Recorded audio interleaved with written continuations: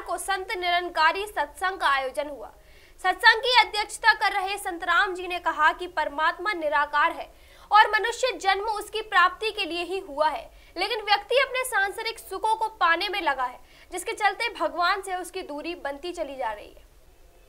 उन्होंने ये विचार रविवार को संत निरंकारी सत्संग भवन उरई में संगत में उपस्थित लोगों को संबोधित करते हुए कहे। संगत में बहन शीतल जी ने विचारों में कहा कि हमें मनुष्य चोला प्रभु परमात्मा को जानने के लिए मिला है, लेकिन मनुष्य भौतिकता के पीछे भागते हुए परमात्मा से दूर हो गया है। उन्होंने कहा कि सत्संग परमात्मा को पाने का एक मार्ग है।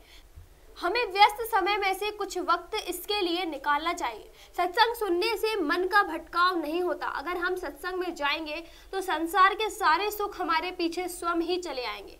उन्होंने कहा कि तन, मन, धन परमात्मा का है और हमें इस परमात्मा का समझकर ही प्रयोग करना चाहिए। सत्संग में जिला प्रमुख राजीव महेंद्र सहित आधा सैकड़ा संत उपस्थित रहे। वहीं गणमान्य एवं श्रद्धालु महिला व पुरुष भी मौजूद रहे।